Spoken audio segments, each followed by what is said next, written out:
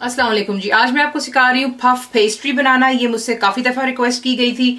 आप लोगों की कोई भी रिक्वेस्ट मैं भूलती नहीं मैंने लिखा हुआ, लेकिन थोड़ा सा टाइम मुझे चाहिए होता है क्योंकि मुझे काफ़ी रिक्वेस्ट पूरी करनी है। चीज़ें आपको दिखा देते हैं। देखिए जो पफ पेस्ट्री आज आप सीख रहे हैं, इससे आप बहुत सी चीज़ें बना सकते हैं। सबसे पहले मैं आपको एक्सप्लेन करना चाहूँगी।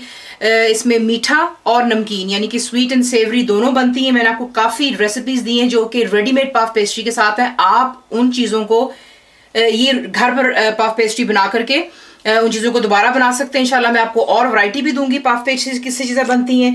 तो इसमें ये होता है कि सिंपल इसकी होती है, लेकिन टाइम कंज्यूमिंग है, थोड़ा पेशेंस रखना है, लेकिन आपकी पाफ पेस्ट्री तैयार होती है। आप इसको बना करके फ्रीज भी कर सकते हैं फ्रिज में भी रख सकते हैं।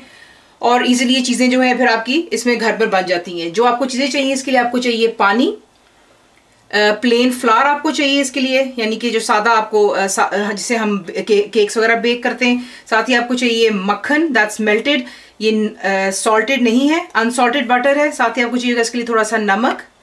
लेमन जूस आप इस्तेमाल कर सकते हैं या वाइट डिस्टिल विनेगर सिर्फ़ एक से दो कतरों का इस्तेमाल है ज़्यादा नहीं क्योंकि जो विनेगर होता है और लेमन जूस जो आपके मैदे के अंदर में यानी कि फ्लावर में जो ग्लूटेन होता है उसको स्ट्रेंथन करने में काम देता है। साथ ही आपको चाहिएगा इसके लिए थोड़ा सा क्लिंग फिल का इस्तेमाल। दोबारा यहाँ पे आप देख लें अनसॉल्टेड बटर है जिससे हम इसकी लेयरिंग करते हैं।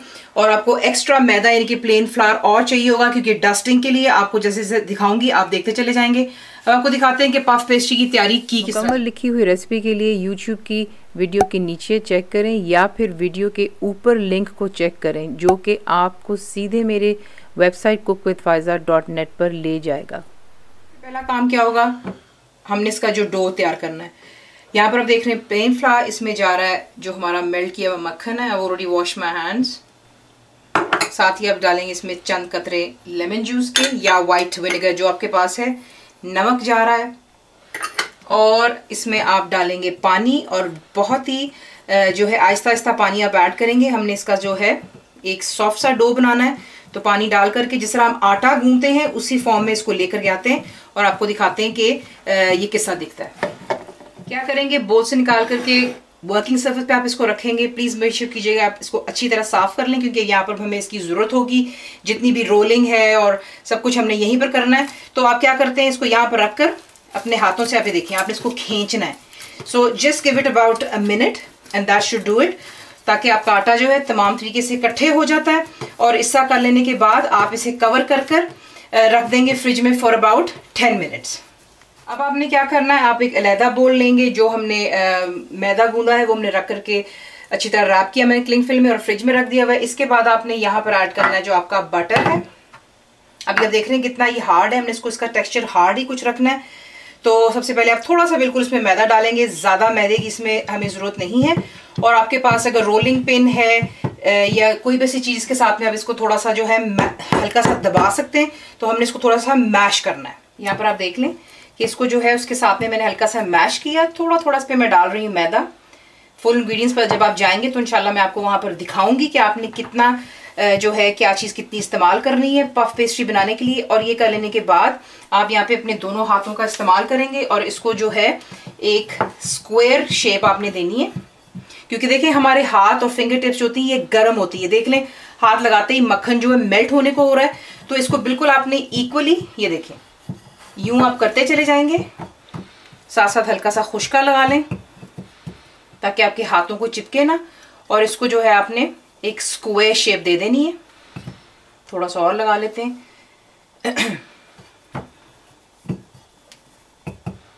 ये हो गया तैयार। अब इसे भी हम जो है क्लिंग फिल के अंदर में रैप करके इसको फ्रिज में रखेंगे फॉर अबाउट टेन मिनट्स और उसके बाद आपको दिखाते हैं कि पफ पेस्ट्री की तैयारी आगे किस तरह होती है। ओके जी। दस मिनट बाद आप इसको बाहर निकालते हैं क्लिंग फिल को। इसको ज़रा हम करेंगे रिमूव बटर भी मैंने बाहर निकाल करके रख लिया हुआ है। आपने सिंपली सरफेस को आप डस्ट करते रहेंगे, ये देखें। डस्ट किया, बीच में रखेंगे, और आपने अब क्या करना है, रोलिंग पिन जो है, उस पर भी थोड़ा सा लगाते हैं खुशका और अब आप इसको रोल करते हैं। ये देखें, एक ये साइड, यूँ आप बाहर निकालेंगे, it's like making a star. आप एक स्टार बना रहे हैं, जो इसकी सिर्फ़ साइडें हैं, आपने यूँ पतली कर लेनी है, और बीच में आप देख रहे हैं, एक पहाड़ सा बन रहा है। ये हमें चीज़ चाहिए, इस पर हम रखेंगे जो हमारा फिलिंग है बटर का और जो हमारी लेयरिंग देता है बेसिकली पफ पेस्ट्री को। तो ये देखें इस तरीके से आपने इसको बाहर को रोल करना है।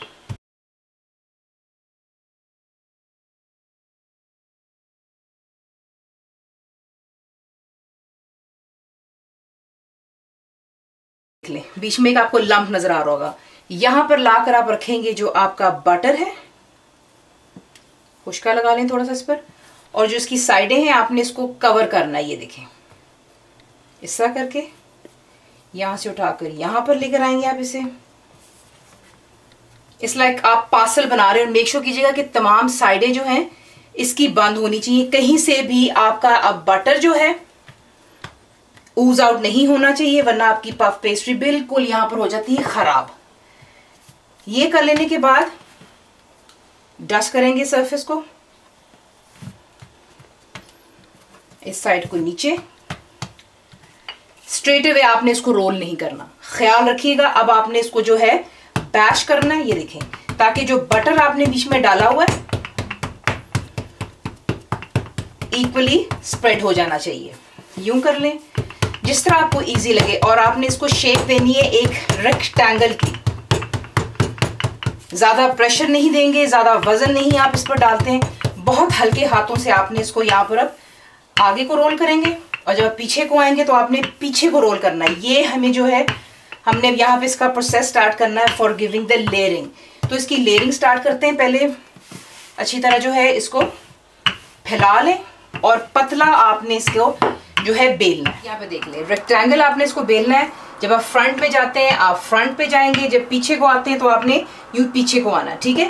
ये कर लेने के बाद आपने, अब हम इसकी स्टार्ट करेंगे लेयरिंग जितनी दफ़ा हम इसको फोल्ड करके बेलते हैं, उतनी ज़्यादा आपकी जो है लेयरिंग बनती है पफ पेस्ट्रीज के अंदर में आपने देखा होगा कि जब आप पैटीज बनाते हैं तो उसमें कितनी लेयरिंग होती है, वो ये ही लेयरिंग होती है जो आपने ख्याल रखना है कि आप देख लें, मक्खन जो है, आपका कहीं से बाहर नहीं निकलना चाहिए, कोई इसमें बबल्स नहीं होने चाहिए तो यही इसका मेन काम होता है। पेशेंस रखेंगे हम, ठीक है? यहाँ पर अब आप इसको पहले एक फोल्ड देते हैं, यूँ करके उसके ऊपर दोबारा दूसरा फोल्ड आप यूँ पे देंगे। और उसके बाद यूँ आप फोल्ड देते हैं बीच में। एक फोल्ड यहाँ से आता है। इक्वल फोल्ड्स आपने देने और दोबारा आप इसको जो यूँ करके बंद कर देते हैं। ठीक हो गया? ये देख लें। आप देख रहे हैं कितनी ज़्यादा इसमें लेस बन रही है। इसी को जब हम दोबारा बेलेंगे तो आप सोच सकते हैं कि कितनी लेस बनती thousand and thousand of layers बनती हैं। मक्खन बीच में होता है, मैदा बीच में होता है, जिसकी वजह से आपकी लेयरिंग शुरू हो जाती है। ये कर लेने के बाद, ये हमारा हो गया है यहाँ पर फ़र्स्ट फोल्ड एक प्लेट ले लें क्लिंग फिल लेंगे आप। खुशका, इस पर अच्छी तरह लगा लीजिएगा। यहाँ पे आप इसको यूँ रख कर बंद कर देंगे और इसको आप फ्रिज में रखेंगे फॉर अबाउट टेन मिनट्स दस मिनट के बाद दोबारा वही प्रोसेस होगा। रोलिंग का मैं आपको दिखाऊँगी। सो दस मिनट का वेट करते हैं, फिर मैं आपको दिखाती हूँ कि किस तरह इसकी दोबारा जो हम रोलिंग करेंगे। यहाँ पर हो चुके हैं, इसे फ्रिज में रखे हुए दस मिनट। देखें अगर दस से पंद्रह मिनट भी हो जाए, बीस मिनट भी प्लीज़ परेशान होइएगा। इट डज नॉट मैटर जितना आपका जो रोल किया हुआ पफ पेस्ट्री फ्रिज में जो रेस्ट करता है, ये उतना ही जो है ज़बरदस्त आपकी पफ पेस्ट्री बनती है। यहाँ से इसको निकाल करके साइड पर रखते हैं। दोबारा जो है, आपने खुशका देखें, यूँ डस्ट करना है। आपने जो है डॉलप्स नहीं फेंकने। कभी भी जब आप पफ पेस्ट्री बना रहे हो तो ये देखें, यूँ डस्ट करते हैं इसको, यूँ जिस तरह आप इसको फेंक रहे हैं। तो बड़े बड़े क्लम्स नहीं होने चाहिए। इसे रखते हैं बीच में। इस पर भी इसी तरह आप जो है डस्ट करते हैं। और डस्ट करने के बाद रोलिंग पिन को हल्का सा डस्ट किया। अब आप यहाँ पर देखें सिंपल है, आपने दोबारा रोल नहीं करना बॉडी का प्रेशर इस पर नहीं देना, आपने सबसे पहले इसको यूँ करना है। फ्लैट करेंगे अच्छी तरह पहले आप इसको फ्लैट कर लें। साइड चेंज कर लेते हैं। इसको पहले आप फ्लैट कर लीजिएगा। फ्रंट में रोल किया, बैक में लेकर के आए, इस तरह, ठीक है? ये आपने जो है करना है।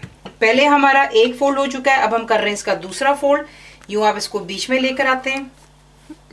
इसे यूँ करके आप बीच में लेकर आएँगे। इस तरह कर लें और इस तरह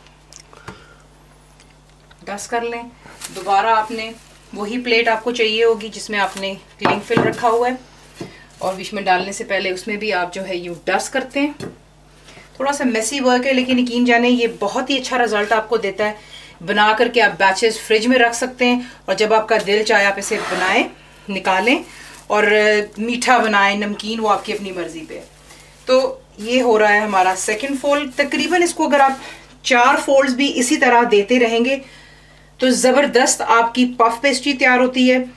दो फोल्ड्स हमने दे दिए, इसे मैं दोबारा फ्रिज में रखूँगी 10 से 15 मिनट के लिए, और उसके बाद दोबारा थर्ड फोल्ड दूँगी तो फिर आपको दोबारा दिखा यहाँ पर इसको मैंने फिर से दोबारा निकाल लिया दस से पंद्रह मिनट फ्रिज में पड़ा रहा है ये, और इसको फिर साइड पर रख देते हैं। दोबारा से जो आपकी वर्किंग सरफेस है, उस पर आप यूँ जैसे मैंने आपसे कहा डस्ट करेंगे, रखेंगे इसको आप। इस पर भी अच्छी तरह खुशका लगा लीजिएगा।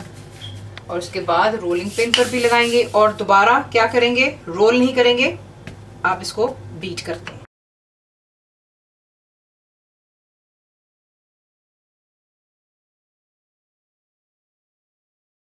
आएँगे मेक श्योर कीजिएगा, नीचे अगर खुशका नहीं है तो आप यूँ हल्का सा डस्ट करेंगे, ऊपर लगाएँगे और इसको रोल करेंगे। फ्रंट पे जाएँगे तो फ्रंट पे, बैक पर तो बैक पर। ये इसकी हम लेयरिंग कर रहे हैं। ये जो लेयरिंग मैं अब कर रही हूँ, ये थर्ड टाइम होगी। इसी तरह हम इसको फोर्थ लेयरिंग देते हैं एक्चुअली और आपकी पफ पेस्ट्री तैयार हो जाती है। तो ये कर लेते हैं और उसको दोबारा जो है, हम फ्रिज फ्रिज में रखेंगे। रोल किया हमने। और जहाँ आपको लगे कि खुशकी की ज़रूरत है, आप खुश का इस्तेमाल करते हैं और आप देख सकते हैं कि बटर की कितनी खूबसूरत लेयरिंग बीच में आपको नज़र आ रही है। यही जो है आपकी पफ पेस्ट्री के ऊपर जो बिल्कुल बारीक लेज आती हैं, इसकी वजह से आती हैं। दोबारा इसको फोल्ड कर लेते हैं। अपनी तरफ़ को आप यहाँ से करेंगे। थोड़ा इसको इस तरह कर लेते हैं। ये देखें, इस तरह, उसके बाद दोबारा उसके बाद आप इसको यूँ बीच में लेकर आते हैं एक साइड से और ये बीच में आ गया और उसके बाद दोबारा आप इसको यूँ फोल्ड कर लेते हैं खुशका लगा लेते हैं और दोबारा आपने this is the fourth layering जो हम करने वाले हैं तो ये चौथी दफ़ा इसको मैं अब रखूँगी फ्रिज में, बीच में डस्ट कर लें। रखने से पहले। इस पर भी आप डस्ट करते हैं दोबारा। थोड़ा मेसी काम है, जैसे मैंने आपसे बिगेनिंग में कहा, लेकिन इसके रिजल्ट्स आप जब इंशाल्लाह बनाएँगे तो आप खुश हो जाएँगे क्योंकि एक बच्ची है जो मुझे बार बार यही लिख रही है कि वो अब्रॉड में रहती है, लेकिन उन्हें वहाँ पर हलाल पफ पेस्ट्री नहीं मिलती है। तो ये खासतौर पर मैं उस बच्ची के लिए बना रही हूँ। उम्मीद है आप सबको पसंद आए। इसी तरह कर लेने के बाद this is the fourth time यानी कि चौथी दफ़ा जो है, अब इसको हम रखेंगे दोबारा फ्रिज में 10 से 15 मिनट के लिए और इसको दोबारा निकाल करके उसी तरह रोल करेंगे और इनशाला हमारी पफ पेस्ट्री तैयार हो जाती है। तो उसको दोबारा फ्रिज में देख लें दोबारा इसको फिर से निकाल लिया हुआ है। This is the last time जब आप इसको रोल करेंगे। और अब तक जो है यहाँ पर बेशक आपको नज़र ना आ रही हो लेकिन यहाँ पर जो इस वक्त लेस बन चुकी हैं आपकी पफ पेस्ट्री की thousands and thousands of layers बन जाती हैं। तो यही इसका सारा प्रोसेस होता है। यूँ आप इसको दोबारा डस्ट करेंगे। ये आखिरी दफ़ा इसको यहाँ पर रोल करने लगे। लेकिन रोल करने से पहले से मैंने आपसे कहा है कि आप क्या करेंगे, सबसे पहले आप इसे थोड़ा सा प्रेस डाउन कर लें। और उसके बाद आप इसे रोल करेंगे दोबारा ट्राइंगल बनाए रेक्टेंगल सॉरी करेंगे आप। यहाँ पर this is the last layering जो हम करने लगे। आप इसको लेकर आएँगे यू मिडल में। यहाँ से यू मिडल में। और एक्सेसिव जो है, आप बीच में से यूँ डस्ट करते चले जाएँ। इसको यूँ बीच में से यूँ उठा लें। एक फोल्ड यहाँ पर, एक फोल्ड यहाँ पर और ये आखिरी फोल्ड यहाँ पर आपकी पफ पेस्ट्री हो जाती है तैयार। तो अब आपने इसको क्या करना है, आपको मैं बताती हूँ। इसको ज़रा थोड़ा सा जो है, जगह को पहले साफ़ कर लेते हैं। तो जनाब, ये रही आपकी होममेड पफ पेस्ट्री चार दफ़ा हमने इसको फोल्ड दिया।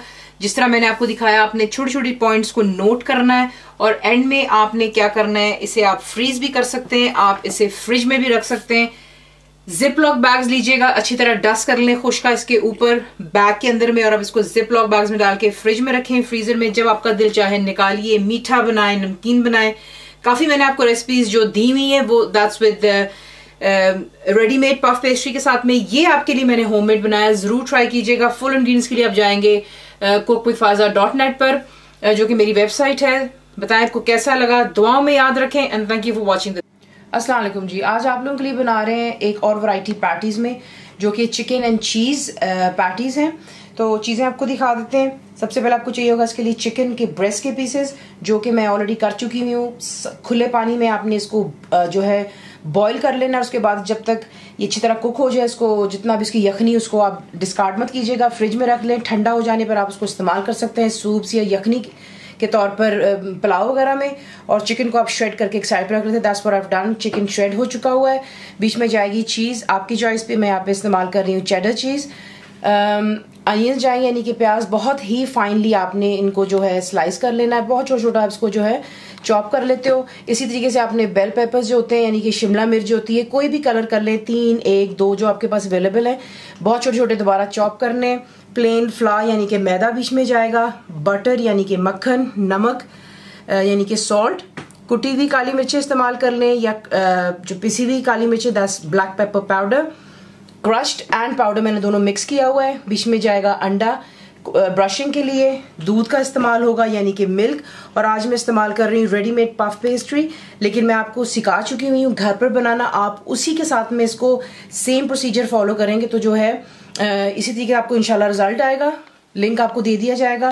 तो ये हो गई यहाँ पर रेसिपी मुकम्मल लिखी हुई रेसिपी के लिए यूट्यूब की वीडियो के नीचे चेक करें या फिर वीडियो के ऊपर लिंक को चेक करें जो कि आपको सीधे मेरे website cook with Faiza dot net पर ले देखने। बटर को आपने मेल्ट कर लेना है। मेल्ट कर लेने के बाद जो आपके फाइनली चॉप्ड अनियंस हैं, आप इसको बीच में डालेंगे। फ्लेम आप हाई पे रखेंगे और आपने इसे तब तक फ्राई करना है। यहाँ पर जब तक कि जो अनियंस हैं, इन्हें सॉफ्ट हो जाना चाहिए। ब्राउन आपने इसको बिल्कुल नहीं करना।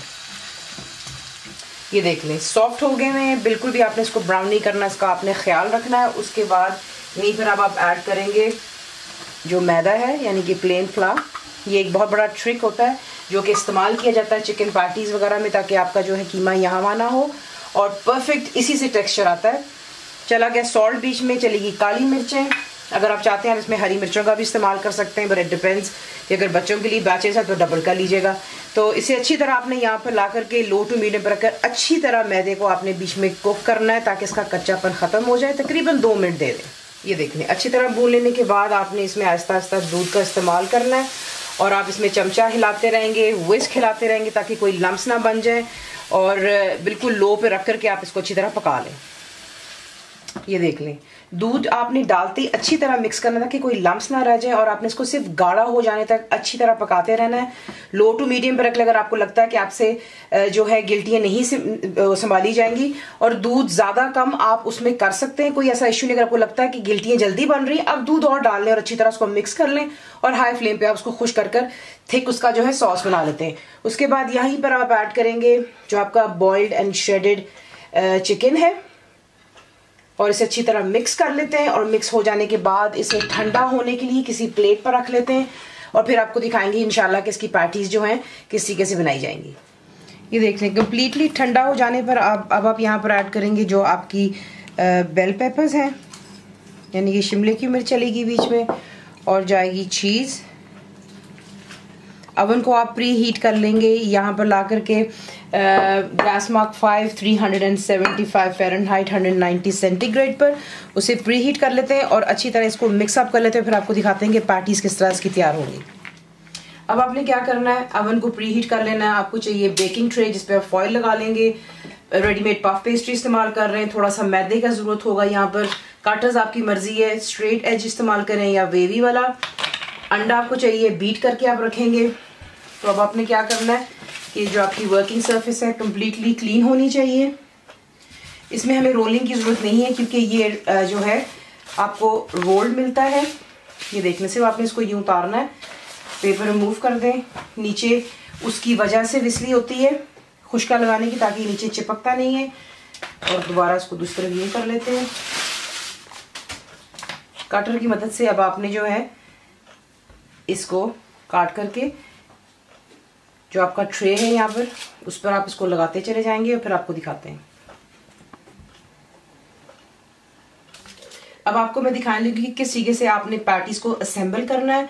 अगर आप चाहें तो सिर्फ़ दो पीसेस पफ पेस्ट्री के साथ में भी बन सकता है, लेकिन अगर आप चाहते हैं कि वो बेकरी की लुक आए तो हमें एक पैटी के लिए तीन पीसेस की ज़रूरत होगी। सबसे पहले आपने क्या करना है, जो एक साइड होगी जो सबसे नीचे वाली है पहले आपने उसको एग वॉश लगाना है। एग वॉश का मतलब होता है अंडा और उसमें थोड़ा सा पानी ऐड कर लिया जाता है। अगर आपको अंडे से एलर्जिक है या आप अंडा इस्तेमाल नहीं करते हैं नॉन वेजिटेरियन वेजिटेरियन काफ़ी ऐसी चीज़ें होती हैं। आप अंडे का इस्तेमाल नहीं करते हो, आप दूध भी इस्तेमाल कर सकते हैं। उसके बाद इस पर आप लगाएँगे जो कि आपकी फिलिंग है। यू मिडिल में लगा लीजिए फिलिंग्स सेकंड पीस आप इसके ऊपर यूँ लगाएँगे, और आपने इसको यूँ प्रेस डाउन करना है। प्रेस इट डाउन अगेन ये हो गया। उसके बाद आपने इसको दोबारा ब्रश करना है अंडे की साथ में। ब्रश हो गया। उसके बाद थर्ड पीस ऊपर आएगा।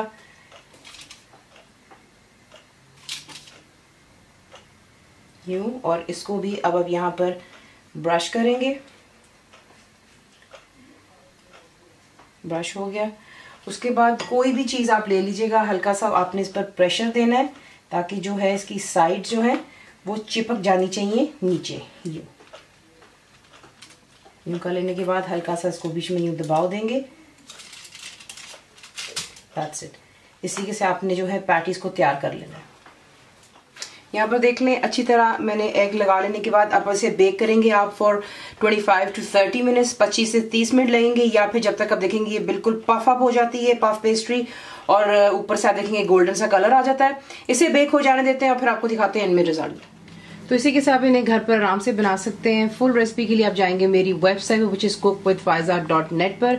ज़रूर बनाइए, तक कैसा लगा। दुआओं में याद रखें and thank you for watching the ji. आज आप लोग बनाने जा रहे हैं बहुत ही मज़ेदार स्नैक जिसका नाम है ब्रेड पैटीज यानी कि ब्रेड बनेगी, उसके अंदर फिलिंग होगी, लेकिन वो आपको ऐसे लगेगा जैसे आप पैटीज खा रहे हैं, उसकी शेप हम यूँ देंगे उसे उसके लिए आपको चाहिए ब्रेड के स्लाइसेस यहाँ पर। चिकन मैं इस्तेमाल करूँ यहाँ पर मैंने बॉईल किया।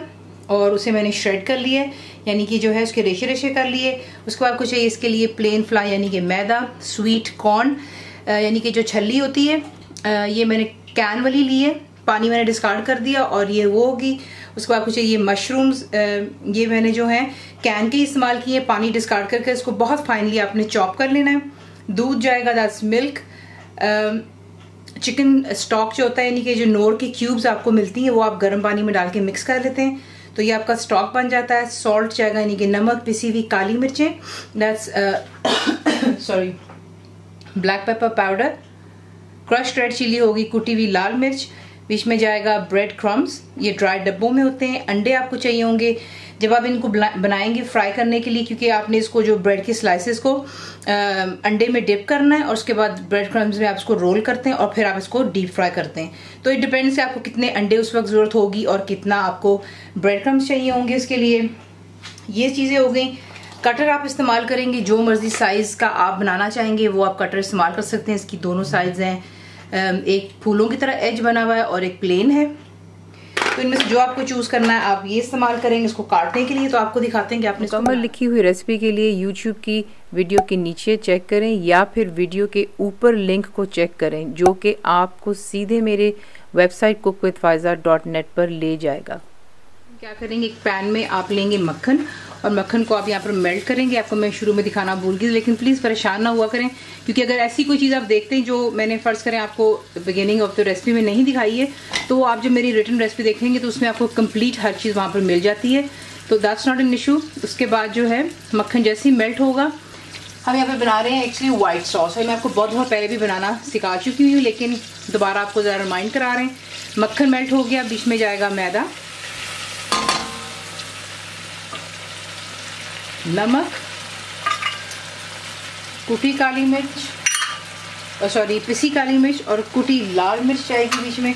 इसको आप यहाँ पर जो है मैंने फ्लेम मीडियम और हाई के दरम्यान में रखी हुई आपने सिर्फ़ इसको जो है, चंद मिनटों के लिए आपने इसको यहाँ पे, चंद सेकंड्स इनफैक्ट कच्चापन इसका ख़त्म हो जाए प्लेन फार का। इसीलिए इसको यहाँ पे ज़रा हल्का सा हम पहले पका रहे हैं और फिर इसके बाद बाकी की चीज़ें ऐड करते हैं। तो उसको हल्का सा ज़रा पहले कुक कर लेते हैं फिर आपको नेक्स्ट स्टेप दिखाते हैं। अच्छी तरह यहाँ पर जो है, इसे हमने भून लिया मैदे को। अब इसमें आप ऐड करेंगे जो कि चिकन का स्टॉक है और इसको आप इसमें चलाते जाएँगे ताकि इसमें कोई लम्स ना बने। तो ये अच्छी तरह पहले इसमें डाल करके मिक्स कर लेते हैं। साथ ही साथ इसमें आप ऐड करेंगे जो कि दूध है।